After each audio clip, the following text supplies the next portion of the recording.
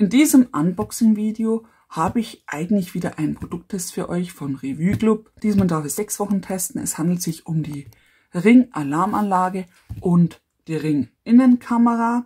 Und jetzt schauen wir mal, was da drin ist.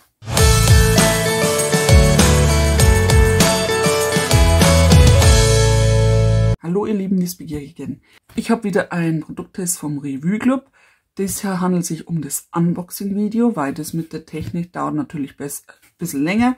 Und jetzt schauen wir mal rein, was wir da Schönes drin haben. Und da seht ihr das schon. Hier handelt es sich erstens mal um diese Alarmanlage, kabellose Sicherheit. Hier ist auch so Eingabe für die PIN, so wie das ausschaut und die Notrufe. Können Sie da schnell draufdrücken, dann wird der Alarm ausgelöst. Wohin genau der geht, das muss man wahrscheinlich einstellen.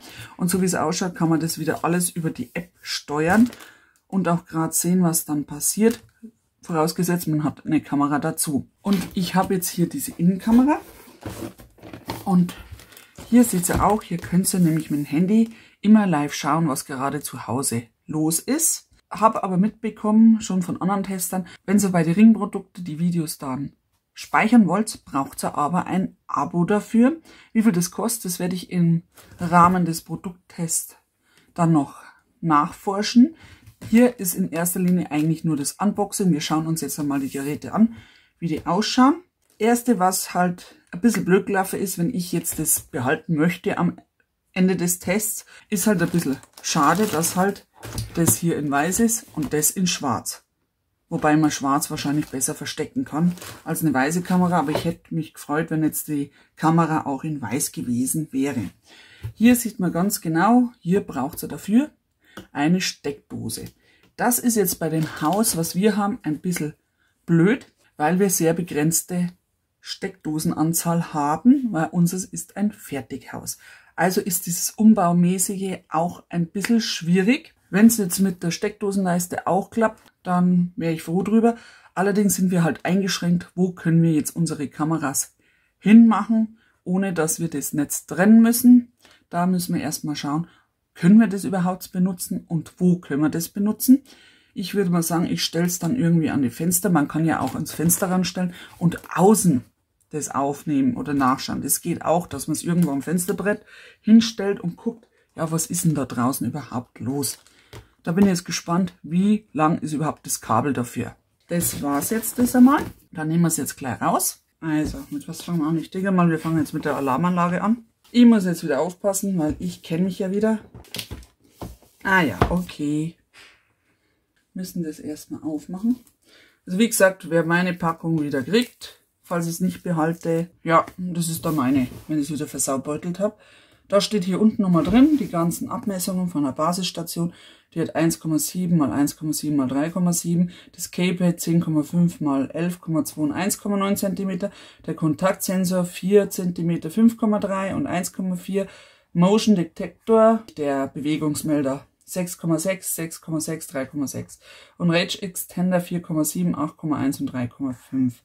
Die Basisstation muss angeschlossen werden, die Basisstation Cable und Range Extender, Extender 100 bis 240 Volt, 50 von 60 Megahertz und der Kontaktsensor und der Motion Detector laufen über Batterie. Und da finde ich wieder Kontaktsensor scheiße, weil das ist wieder eine Knopfzelle.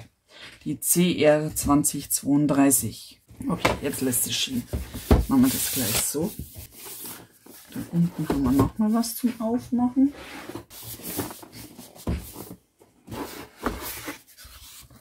Mhm. Auch ein stabiler Innenkarton. Wir haben hier anscheinend die Anleitung. Oh, das schaut ja witzig aus. Hier haben wir, genau, hier kann man das ans Netzkabel anscheinend anschließen. Hier kann man da das Kabel anschließen, hier unten. So wie es ausschaut, vielleicht geht das, ja, das kann man aufhängen. Da wir ja Probleme haben mit den Steckdosen, würde ich das jetzt beim WLAN-Router aufstellen. Da ist noch Platz erst einmal und nicht unbedingt Löcher bohren. Das ist die Basisstation. Dann haben wir hier dieses Eingabedrümmchen. Okay, das kann man aufschieben und runternehmen. Da kann man hier dieses Ansteckkabel wieder. Schaut fast aus wie von meinem Handy. Das kann man übrigens auch wieder an der Wand montieren. Einfach montieren, draufschieben. Das schaut so aus, dass das gar eine extra Batterie braucht. Aber bin ja gespannt, wie das funktionieren soll. Wie gesagt wenn man das noch nie gemacht hat, weiß man es nicht. So, und dann sind hier die Accessoires drin. Also sie haben das schon mal schön eingerichtet. Oh, jo, das nenne ich viel an Zubehör. Wahnsinn. Aber alles schön beschriftet. Hier habt ihr die OK, also United Kingdom Anstecker und hier sind die EU Anstecker. Okay, tun wir jetzt mal den großen raus.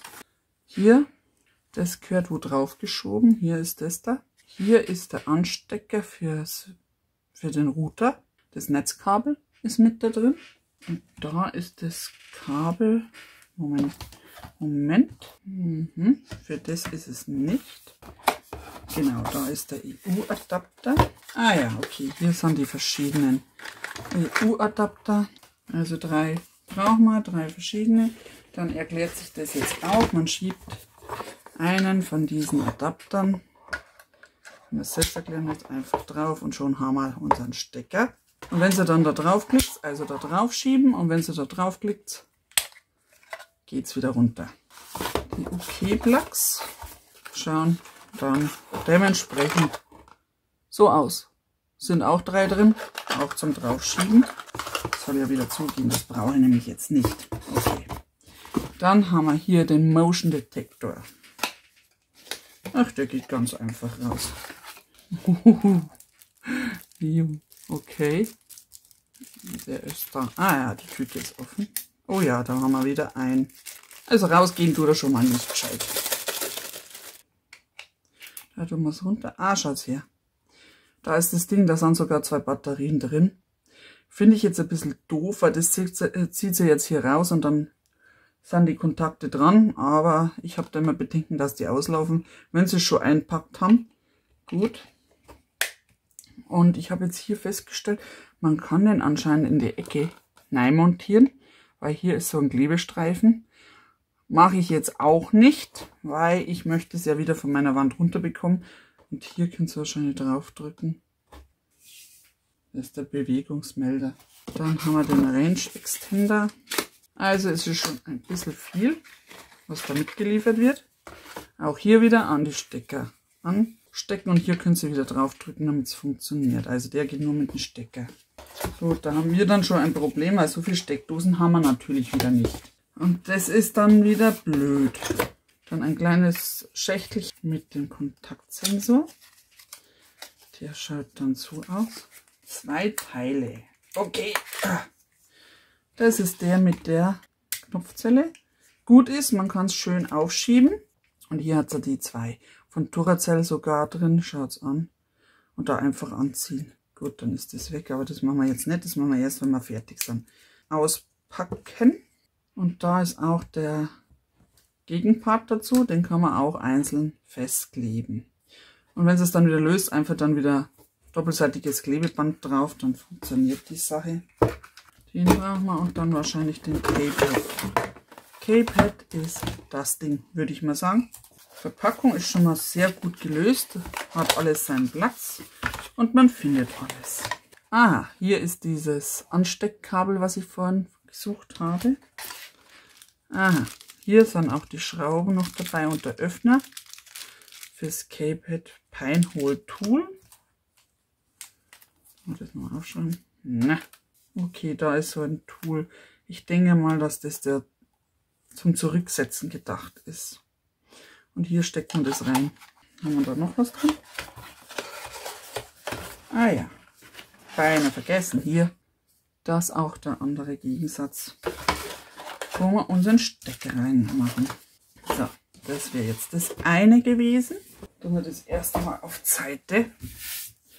Dann packen wir unseren, unsere Kamera aus. Und mal schauen, ob das irgendwo, genau. Cool finde ich ja, dass man hier bloß eine Lasche hat zum Ziehen. Dann braucht man nicht unbedingt was kaputt machen oder mit der Schere rumhantieren. Und auch hier seht ihr, wie schön aufgeräumt das ist. Das kann man rausziehen so. Da haben wir die Bedienungsanleitung drin. Da haben wir, was haben wir da drin? Ein paar, Ah ja, das ist das Achtung. Videoüberwachung kann man sich dann draußen hinkleben, um die Show vorzuwarnen, hey, unser Haus wird videoüberwacht. Oder beziehungsweise, wenn sie in die Wohnung reinkommen, weil, weiß ich nicht, datenschutzrechtlich muss man da wieder, weiß ich nicht, wie das dann gehandhabt wird wieder. Wir haben hier drin einmal zum Anschrauben, einmal hier für die Steckdose und zwar UK und EU. Ich denke mal, dass die Kamera auch ohne den Alarm funktioniert und da ist es ja ein leichtes, das dann auszuprobieren. Und das war es eigentlich an der Kamera, dieses kleine Mini-Teilchen. Cool, hä? Und hier, was steht da drauf auf Deutsch? Live-Video, bewegungsaktiviert. Also wenn sich was bewegt, dann aktiviert sich Hier kann man wieder draufdrücken wahrscheinlich zum Ausschalten. Dann haben wir hier eine konstante Stromversorgung. Und die Videos online ansehen und speichern. Und hier steht es auch wieder dort mit dem Sternchen. Hier Sternchen steht. Wo haben wir denn? Für diese Funktion ist ein Ring Protect Abonnement erforderlich, welches separat erhältlich ist. Man kann es aber 30 Tage Test, äh, die 30 Tage Testversion. Also werden wir das jetzt dann wahrscheinlich ausnutzen. Und dann schauen wir mal, wie sich das verhält. Ich werde vielleicht mit dieser da anfangen. Aha, da ist oben, da kann man auch was abmontieren. Und da hinten wird das Ganze dann angesteckt.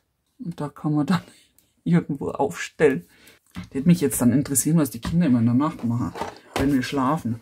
So, weiter geht's. Jetzt schauen wir uns einmal die Bedienungsanleitung an. Erst einmal von der Kamera, das ist am wenigsten Arbeit. Da kann man sich zum Beispiel einen Plan anschauen, wie das am besten funktionieren könnte, wenn da unten hier Außenkamera, Alarmanlage außen, hier Türklingel außen. Also das sind hier die Sicherheitsinstruktionen, was man aufpassen muss. Schauen wir mal. Da steht drin die Funkfrequenzkonformität, was es erfüllt.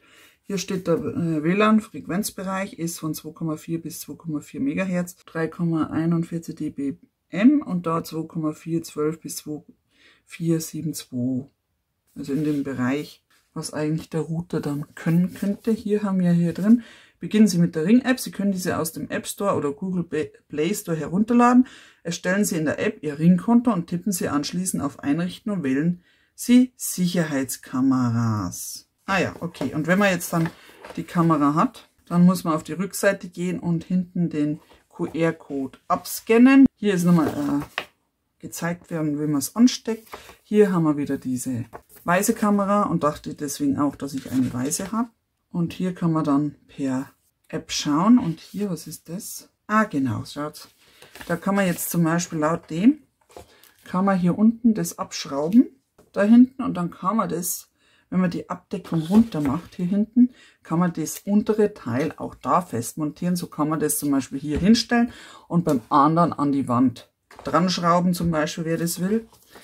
Also scheint das alles eben mit dem Smartphone. Bei dem ist dann folgenderweise, da haben wir ja, hier haben wir das Handbuch, ist natürlich etwas größer. Also es heißt, man sollte die erste Zeit üben, üben. Und hier steht dann auch drin, unterstützte Überwachung, Selbstüberwachung, hier die Punkte, was kann er, was kann er nicht. Hier steht zum Beispiel auch drin die Beispiele, was man machen kann überall. Und hier seht also wenn ihr das ganze Haus abdecken wollt, dann langt natürlich nicht nur dieser eine Kontaktsensor, sondern wenn ihr jedes Fenster machen wollt oder Tür im Haus, dann müsst ihr natürlich dementsprechend die Sensoren noch nachkaufen.